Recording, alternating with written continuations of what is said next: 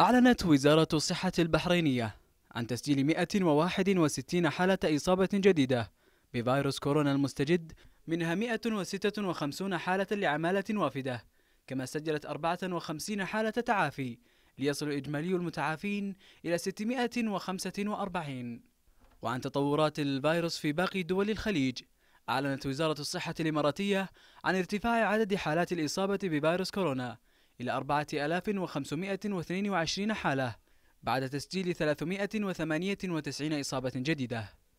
في الكويت سجلت وزارة الصحة 55 حالة إصابة جديدة خلال ال 24 ساعة الماضية ليرتفع بذلك إجمالي الحالات المسجلة إلى 1355 مع تسجيل حالة وفاة جديدة وبلغ إجمالي حالات التعافي 176 حالة.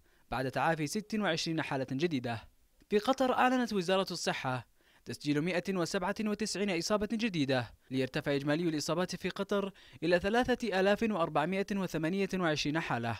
كما أعلنت وزارة الصحة القطرية عن شفاء 39 حالة من المرض ليصل إجمالي حالات الشفاء إلى 373 حالة.